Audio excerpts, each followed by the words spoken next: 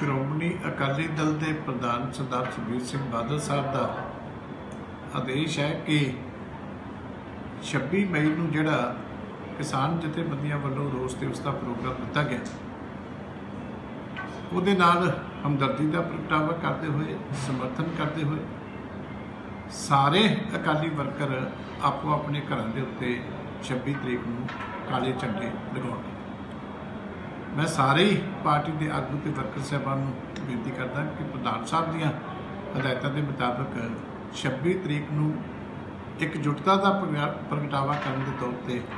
ਆਪੋ ਆਪਣੇ ਘਰਾਂ ਦੇ ਵਿੱਚ ਕਾਲੇ ਝੰਡੇ ਜਿਹੜੇ ਆ, ਉਹ ਜ਼ਰੂਰ ਲਾਏ ਜਾਣ।